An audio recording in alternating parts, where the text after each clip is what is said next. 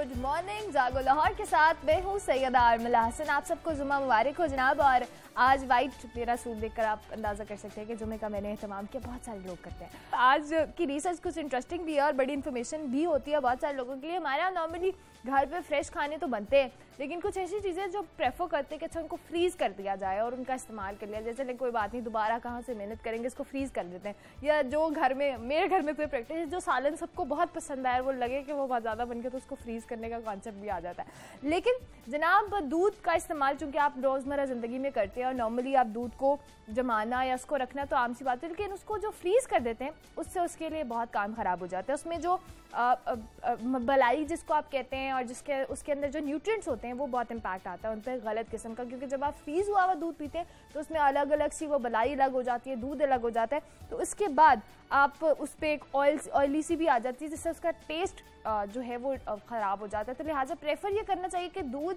Fresh उसको consume किया जाए बॉयल किया जाए मैक्सिमम एक दिन या पूरा, जैसे आपने सुबह आया, आपके नॉर्मली घरों में यही प्रैक्टिस होती है तो शाम तक आप उतना दूध हो के वो ख़त्म हो जाए। तो फ्रीज़ करने वाला दूध क्या? आलू के हवाले से बताया, और तली हुई चीज़ें, जिनके हम बताते हैं कि आप जो डीप फ्राइड चीज़ें होती है नॉर्मली फ़िश जो हम खा रहे होते हैं, उसमें भी हमारी ये प्रेफरेंस होती है कि हम फ्रिज भी फ्रीज कर देते हैं। उससे भी उसका बहुत काम खराब होता है। उन्हें बगैर तले हुए आप किसी बंद डब्बे में फ्रीज कर दें तो वो बेहतर है, लेकिन उसको भी ज़्यादा अरसे तक फ्रीज करना आइडियल नहीं समझा जाता। तो बेहतर होता है कि चीज़ों को फ्रीज ना किया जाए स्पेशली जो डीप फ्राइड चीज़ें होती है, क्योंकि ऑयल उनके अंदर अब्जॉर्ब होता है। जब उनको फ्रीज करते हैं तो वो ऑयल भी साथ में फ्रीज होता है। उसके बाद फिर अक्सर लोगों को खांसी, गला ख़राब होने की भी शिकायत होती है। तो लिहाजा ये वाला जो कॉन्सेप्ट है, इसको भी अवॉइड करना चाहिए। आपको ये सब्ज़ियाँ और फल, ये तो डेफिनेटली फ्रीज़ नहीं करने चाहिए, क्योंकि जब आप अमूमन हमारे घर में, मैं अपने घर की बात करूँगी, टमाटर फ्रीज़ कर लेती हैं मेरी अम्मी, और जब वो टमाटर फ्रीज़ होते हैं, उसके बाद जब उनको पिघलाते हैं तो वो इतने नरम हो जाते हैं कि वो किसी भी चीज़ में इस्तेमाल नहीं हो सकते। लेकिन हाँ नॉर्मली लोग करते हैं। गोश्त का इस्तेमाल बहुत ज़्यादा अर्से तक उसको फ्रीज़ नहीं रखना चाहिए। डॉक्टर कहते हैं उसमें कुछ ऐसी जो कहते हैं बैक्टीरिया पैदा हो जाते हैं, जिससे आपकी सेहत इम्पैक्ट आ सकता है गलत। दही को आपने फ्रीज़ नहीं करना, उसके बाद चावल। चावल अक्सर हमारे यहाँ नॉर्मली घरों में कुछ में ऑयल इस्तेमाल होता है, कुछ में घी इस्तेमाल होता है। तो जो घी वाली चीज़ें होती हैं, अगर आप उनको वैसे ही कुछ लोग ठंडा खा लेते हैं तो वो भी आपके अंदर जाके बहुत नुकसान पहुँचाते हैं सेहत को। तो प्रेफर बातों की बात, सारी बातों का एक ही निचोड़ कि फ्रेश चीज़ें खाएँ। कोशिश करें कि फ्रीज़र जो फ्रीज़ की हुई चीज़ें हैं, उनका इस्तेमाल कम से कम किया जाए। मसाला जात भी आपने ज़्यादा देर इसको फ्रीज़ नहीं करना। तो जनाब, ये तो हमें आज रिसर्च मिली थी, सुबह सुबह तो मैंने कहा थोड़ी सी शेयर कर ली जाए, लेकिन लाइब्रेरीज़ की आज हम बात करने वाले हैं। जनाब बुक रीडिंग और ये सारी चीज़ें हम कहते हैं बहुत ज़रूरी हैं। यूरोप, खूबसूरत शहरों में, तरीन शहरों में का एक कहा जाता है मरकज़ है, लेकिन वहाँ पर जो एक बात होती है कि लाइब्रेरीज या कुतुब खाने हम पाकिस्तान में कहते हैं कि इतना ज़्यादा उनको नहीं किया जाता। प्रेफर नहीं किया जाता, यहाँ पर इतनी ज़्यादा लाइब्रेरीज़ नहीं है। और लोगों में बुक रीडिंग का कॉन्सेप्ट भी खत्म हो रहा है। जो शौकीन है, उन्होंने घरों में मिनी लाइब्रेरीज बनाई हुई है या वहाँ पर बुक्स का कहते हैं जनाब, एक ऐसी लाइब्रेरी है जिसे दुनिया की खूबसूरत तरीन लाइब्रेरी कहा जाता है। सिक्सटीन में इस कुतुब खाने को एक जामे में तब्दील कर दिया गया था, जो इस वक्त जो कहा जाए सबसे बड़ी यूनिवर्सिटी भी करार पाई थी। इसकी इमारत इसे यूरोप में सबसे ज़्यादा इमारत का हामिल रकबा भी है इसके पास, और यहाँ पर कुछ ऐसी किताबें भी मौजूद हैं, जो कदीम दौर के अहम मजहबी रहनुमाओं के जेर मुताल भी रही हैं। बाज़ किताबों पर उन अहम शख्सियात के हाथों के निशान यानी कि फिंगरप्रिंट्स भी हैं और लाइब्रेरी के दर दीवार और इसकी जो छत है, इस पर बहुत ज़्यादा जो नफासत के साथ मीनाकारी, जिसे आप कहते हैं, वो भी की गई है, नक्शो नगारी की गई है। और तकरीबन जो कह लें, तमाम तक कल्चरल एस्पेक्ट्स हैं, उनको भी इस पर डिस्प्ले किया गया है तो डेफिनेटली ये बहुत खूबसूरत सी एक है। और इसको आहिस्ता आहिस्ता उन्होंने बढ़ाया भी है, और बहुत सारी इसमें जो कह लें एडिशन भी की हैं बुक्स भी नई लाई गई हैं। तो इसको दुनिया की खूबसूरत तरीन लाइब्रेरीज में शुमार किया जाता है, और डेफिनेटली लाइब्रेरी अगर आप पढ़ने जाते हैं तो आपको एक एम्बियांस कहते हैं ना, जब आप खाना खाने जाते हैं तो किसी रेस्टोरेंट का एम्बियांस बहुत अच्छा होता है। जो बुक रीडिंग के शौकीन अफराद है, मेरे ख्याल से उन्हें सुकून और एम्बियांस भी बहुत इम्पैक्ट डालता है। और डेफिनेटली अगर आपको मुताले की बड़ी पुरसकून, खूबसूरत सी जगह का इंतखब करना चाहिए, ताकि आपका इंटरेस्ट भी डेवलप हो। तो जनाब, ये हमने आपको बता दिया कि ये लाइब्रेरी जो है बहुत खूबसूरत है। हम आपकी सेहत के हवाले से भी बात करते तो नॉर्मली सी सेक्शन जो खातन जिनके बेबीज़ के थ्रू मतलब बेबीज़ का मामला चल रहा होता है, उसमें ये कहा जाता है कि नॉर्मल डिलीवरी होगी सी सेक्शन होगा। बहुत सारे मिसकनसेप्शन भी हैं, बहुत सारी बातें भी हैं, जो खातन कुछ खुद भी प्रेफर नहीं करती, कुछ मेडिकल इश्यूज़ होते हैं, और कुछ ये भी समझते हैं कि जनाब डॉक्टर्स जान के कर देते हैं सी सेक्शन इनको नहीं पता।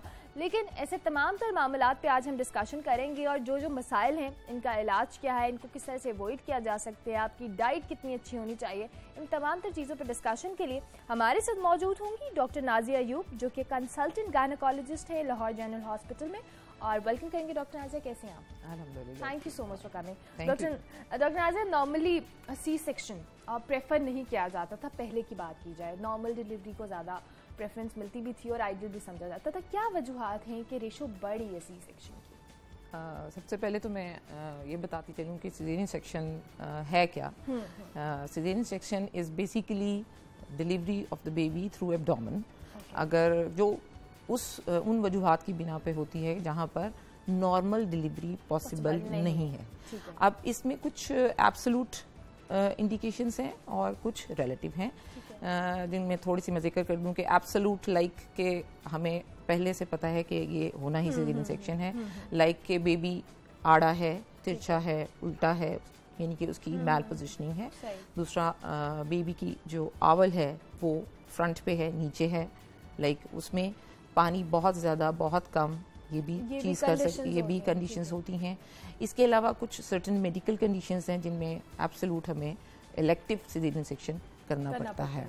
दूसरी किस्म जो है वो बेसिकली रिलेटिव है जिसमें हमें मेडिकल कंडीशंस के साथ देखना पड़ता है। कुछ बच्चे को जहाँ रिस्क ज़्यादा है वो ये बैलेंस करना पड़ता है कि इसके लिए सीजेरियन डिलीवरी बेहतर है या नहीं जहाँ बच्चे की जान को हम्म। खतरा हो।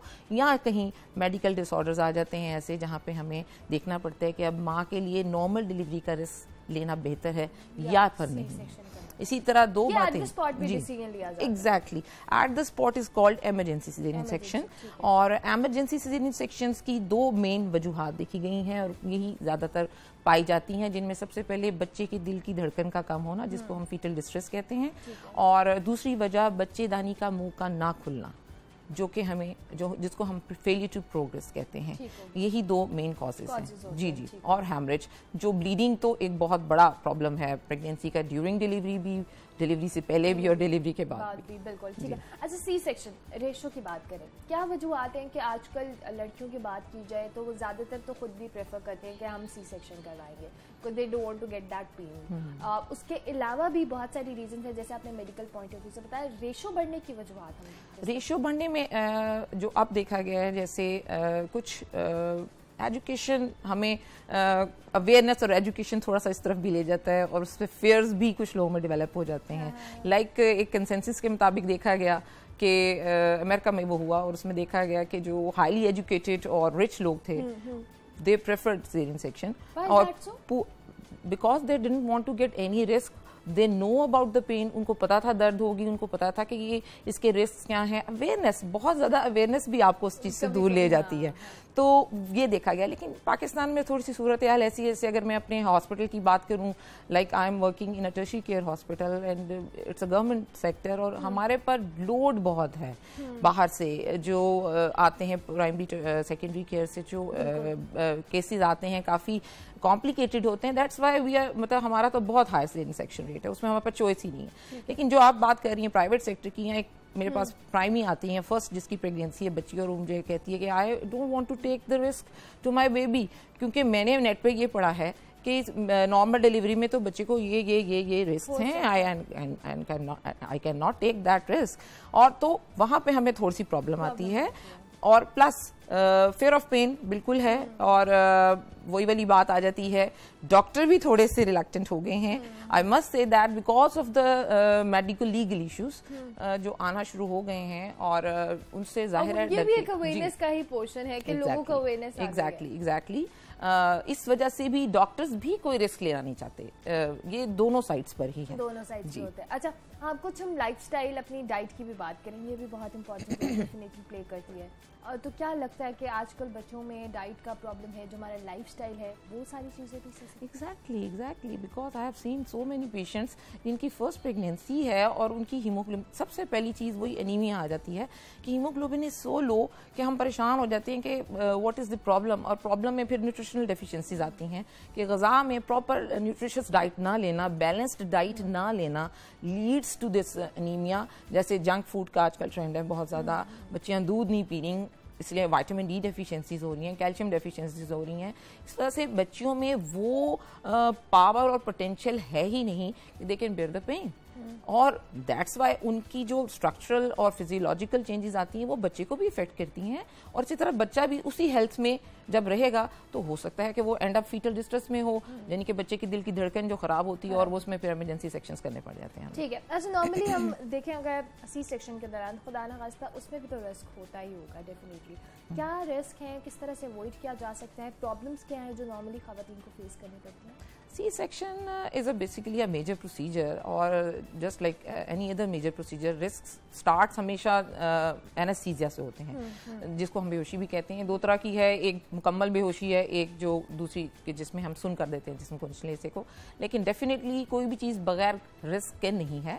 उनकी अपनी कॉम्प्लिकेशंस हैं जिनमें कार्डियक हैं और लंग्स की हैं और दूसरी किस्म की आ सकती हैं। और सीजेरियन सेक्शन की अगर मैं बात करूँ उसमें सबसे पहले ब्लीडिंग है इन्फेक्शन है और उसके बाद कोई इंजरी है जो कि इन मतलब गलती से भी लग सकती है। उसके बाद पोस्ट ऑप केयर में भी फिर सेप्सिस आ जाता है यूरिनरी प्रॉब्लम्स आ जाती हैं लाइफस्टाइल में चेंजेस आ जाती हैं और आजकल जो देखा जा रहा है वो डिप्रेशन भी बहुत ज़्यादा देखा जा रहा है। अच्छा हमारे यहाँ नॉर्मली जैसे भी हम बात कर रहे थे प्रेगनेंसी जब शुरू होती है तो हमें अभी नहीं आइडिया कि नॉर्मल डिलीवरी है या सी सेक्शन है।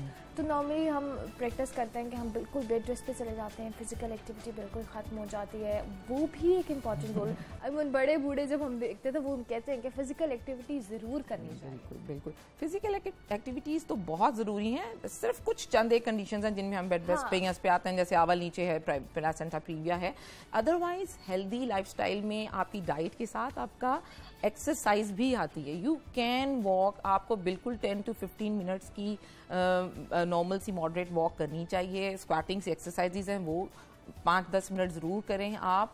और मोबिलाइजेशन तो it's so important that it mobilises your all the joints आपके हिप जॉइंट मोबिलिटी अच्छी होती है टोनिंग अच्छी होती है और दैट एड्स इस पर तो रिसर्चेज हैं that aids in normal delivery actually तो मोबिलाइजेशन का कोई प्रॉब्लम नहीं है। आपके सामने आपके घर में जो काम करने वाली है वो इसी तरह काम करते करते बच्चे भी पैदा कर रही है और सब कुछ कर रही है। Exactly. लेकिन दूसरी तरफ़ आप देखें तो ये कुछ क्लास डिफरेंस हाँ, भी है। जो मैंने आपको पहले मेंशन किया कि कॉन्शियसनेस क्लास डिफरेंस और सोशल और मेडिकल और वट एवर एजुकेशन का भी इसमें थोड़ा आ जाता है तो अवेयरनेस जैसे जैसे बढ़ जाती है कुछ लोग कॉन्शियस ज़्यादा हो जाते हैं कि नहीं जी एक्सरसाइज की तो शायद पता नहीं अबॉर्शन हो जाएगा। और मैं इतना समझाती हूँ पेशेंट्स को this is not the way आप अपने इर्द गिर्द देखो यू मे सी कि आप देखें कि लोग काम करते हुए डिलीवर हो रहे हैं। जी जी।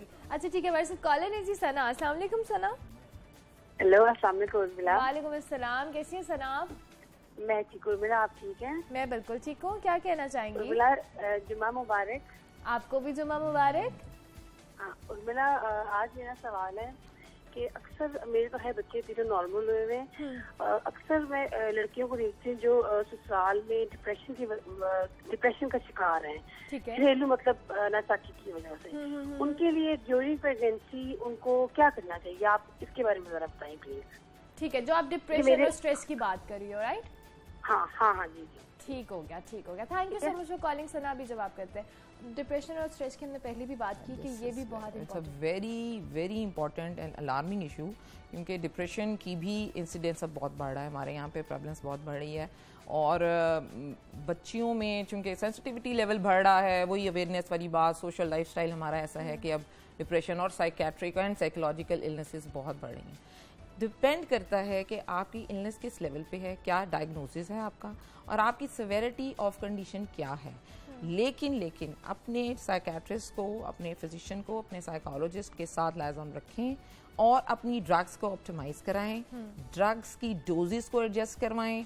उनकी क्वालिटी आपको श्योर होनी चाहिए कि ये बच्चे के लिए नुकसानदेह नहीं है। वो खैर डॉक्टर बता देते हैं। इसी तरह साथ अपने गायनाकोलॉजिस्ट को लेके चलें। अगर सब चीज़ें ठीक हो तो मैं आपको एक बात बता दूँ कि depression is not an indication for surgery section that depends upon the severity and attitude of the patient towards normal delivery अगर उसका बिहेवियरल चेंजेस इज़ बहुत ज़्यादा एब्रप्ट हैं हम्म। और वो नहीं सह सकती तो फिर मेरा नहीं ख्याल कि वो नॉर्मल डिलीवरी की तरफ़ जाएगी। Otherwise it's not an absolute indication लेकिन ज़ाहिर है ट्रीटमेंट उसकी बहुत ज़रूरी है क्योंकि she may go in to post depression more frequent chance है आम पेशेंट के उसमें। तो उसको ख्याल रखना उसका और उसका मेडिकेशन का ध्यान रखना बहुत ज़रूरी फैमिली ऑब्वियसली उसमें बहुत बहुत बहुत फैमिली सपोर्ट साइकोलॉजिकल सपोर्ट बिल्कुल अच्छा ऑन एंड ऑफ़ जो आपके एक कह लें ड्यूरिंग प्रेगनेंसी आपके चेकअप्स होते हैं नॉर्मली कितने अरसे बाद रिकमेंडेड होता है कि गायनोकोलॉजिस्ट को आप विज़िट करें ताकि अपनी प्रॉपर एक स्क्रीनिंग और चेकअप हो जाए? हाँ बिल्कुल जी बहुत इंपॉर्टेंट है एंटीनियल चेकअप में एक आपका इनिशियल विज़िट आ जाता है that may be in your twelfth week और सिक्सटीन वीक उसके बाद आपका एक स्केड्यूल वो आपको दे देते हैं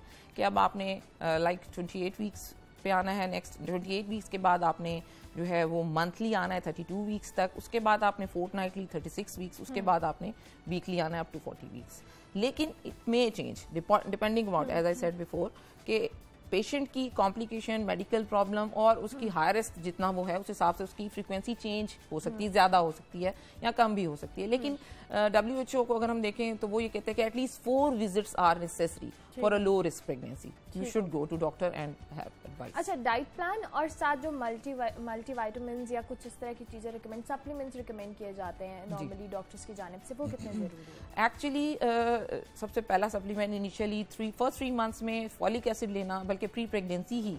स्टार्ट कर देना बेहतर होता है three months before conception folic acid is important उस वक्त सिर्फ़ डाइट पर ध्यान दें इतनी मल्टी वाइटामिन को हम नहीं एडवाइस करते. आफ्टर सिक्सटीन एटीन वीक्स हम we add iron because it's a very high prevalence rate of iron in our country specially तो आयरन हमें ऐड करना पड़ता है और शी शुड टेक आयरन और उसके बाद हम सप्लीमेंट में कैल्शियम एंड वाइटामिन डी भी ऐड करते हैं बिकॉज़ ये भी डेफिशिएंसी है बहुत ज़्यादा इंक्रीज हो रही है वो जैसे मैंने आपको बताया लाइफ की वजह से। तो ये आयरन और कैल्शियम को आई थिंक लेना बहुत ज़रूरी है। Thank you very much doctor बहुत शुक्रिया। आप सी सेक्शन के हवाले से जो जो कॉन्सेप्ट थे जो जो मिसकनसेप्ट थे वो सब हमने क्लियर करने की कोशिश की है और डेफिनेटली आपको अपनी सेहत का ख्याल रखना है तभी आपकी अगली जनरेशन भी है वो सेहतमंद होगी। अभी हम ब्रेक लेंगे ब्रेक के बाद हाजिर होंगे।